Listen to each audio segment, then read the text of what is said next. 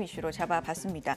중국이 반도체 산실이죠. 미국 실리콘밸리에서 3D 낸드 플래시 양산 독자 기술과 시제품을 공식 발표하기로 했습니다. 시장에서는 메모리 시장 참전을 알리는 선전포고다. 뭐 이런 식의 해석을 하기도 합니다. 어떻게 봐야 될지 이야기해 보도록 하겠습니다. 뭐 굉장히 좀 자극적인 이야기들 많더라고요. 공습 경보라는 표현도 있고요. 네. 어떻게 봐야 될까요? 이 이슈는? 네.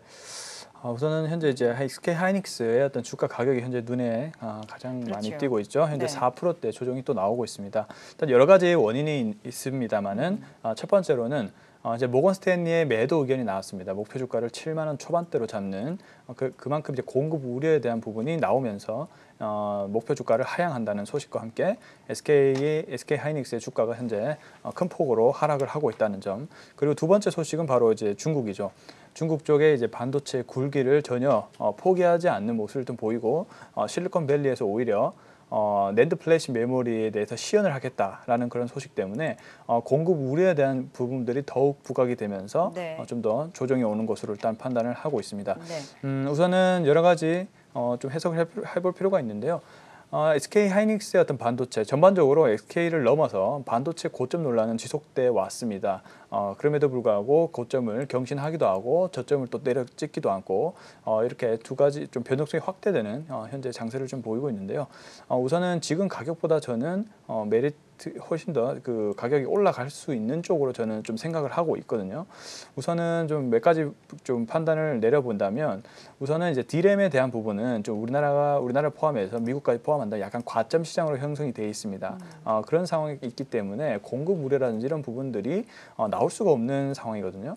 어, 왜냐하면 이, 바- 이 4차 산업혁명에 대한 그런 부분들이 계속적으로 커지고 있으면서 어, 여러 가지 그 투- 특히 이제 데이터 센터에 대한 수요가 계속적으로 커지고 있는 상황 그리고 여러 가지 기업들이 어, 그 디램에 대한 그 부분이 계속적으로 키- 수요가, 커지고 있는 어, 그런 상황입니다. machine learning이라든지 뭐 인공지능, 사물 인터넷, 뭐 전기차, 자율주행, 5G 등 이렇게 향후에 어떤 데이터 처리를 위해서 디램 수요는 계속 증가할 텐데 공급자가 별로 없다는 것이죠. 어, 그런 부분에 있어서 뭔가 가격 고- 그 디램에 대한 가격 자체가 그렇게 쉽게 어, 꺾이지 아- 않는다는 것이 어, 제 생각이고 어, 실, 설사 가격이 좀 꺾인다 하더라도 공급에 대한 부분을 다른 어떤 공급자가 어, 그 지속적으로 공급을 할수 없기 때문에 그에 대한 어떤 실적에 대한 마진 우려는 지금 현재 가격 대비에 지나친 우려라고 저는 생각을 한다는 겁니다.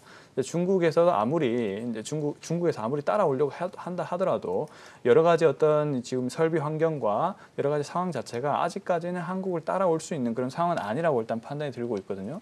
그리고 여러 가지 또 장기 고객들도 꾸준히 하이닉스와 이제 계약을 체결하고 있기 때문에 아, 이런 부분에 있어서 단순한 어떤 그 공급 우려 상황 이런 이런 의견만 보고 어, SK 하이닉스를 단, 단순히 좀 매도해야 된다 라는 의견은 좀 아닌 것 같다는 생각입니다. 지금 현재 한국 시장 전반에 굉장히 안 좋은 기운들이 많이 퍼지고 있는 상황, 특히 이제 수급적으로 어지럽다는 거죠.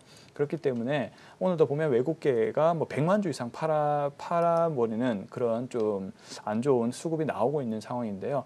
어, 우선은 전반적인 한국 증시에 어, 부정적인 의견들이 많이 나오면서 수급적인 면들도 어, 조금 어, 하- SK 하이닉스의 주가를 어떤 본질 개- 본질보다는 좀 더 하락하게 하는 원인이 아닐까 이렇게 생각을 합니다. 네. 그리고 너무나 실적 대비해서도 valuation 측면이 약간 너무 비정상적으로 지금 측정이 돼 있다 생각하거든요.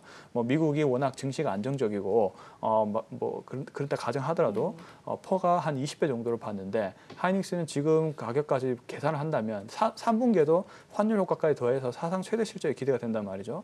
근데 이제 PER가 거의 4배에서 5배 정도밖에 안 됩니다.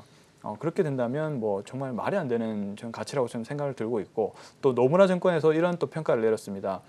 그 한국이 현재 주가는 2,600으로 하향을 한 상태인데 근데 만약에 valuation 측면만 정상화된다면 또 하이닉스는 최근에 또 자사주 매입도 어, 공시를 내렸죠. 그런 걸 봤을 때 이제 valuation 재평가를 내리려고 노력을 많이 하고 있는 상황인데 어, 현재 이제 스튜, stewardship code라든지 어, 지업 기배 지배 구조 개선 그다음에 뭐 자사주 자사주 매입이라든지 이런 주주 환원 정책 개선 이런 부분들을 계속적으로 한다면 발- 배- 그 반도체의 어떤 valuation 재평가가 네. 일어난다면 3천까지도 볼 수 있다라고 일단 의견이 음. 나오고 있거든요. 그런 측면으로 봤을 때 좀 과도하게 할인된 국면이 아닌가 이렇게 조금 판단을 하고 있습니다. 그렇군요.